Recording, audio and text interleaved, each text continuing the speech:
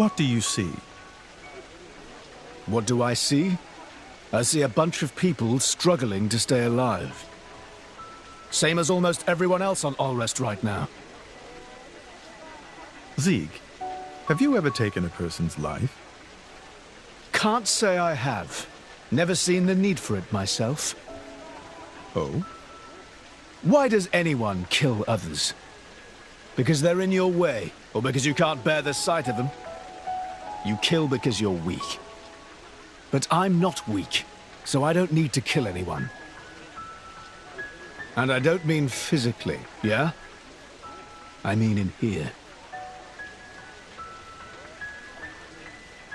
I suppose that makes me weak then. But that weakness is why I'm standing here today. So you hate them?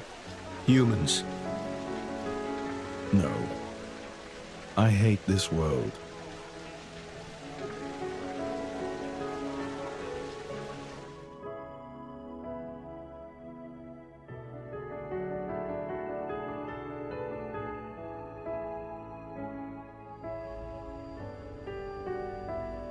Chum, Huh? do you like this world? Uh, what?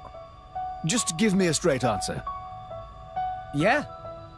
Sure, there's plenty of room for improvement, but then there's also plenty of stuff that's awesome. What about us? Huh? Oh, I think Shaled's about to propose. What? Fleabag! I mean, how do you feel about us? People. Whew. I was worried then. You should be so lucky. Anyway, what's your answer? Ooh, that's a tough one.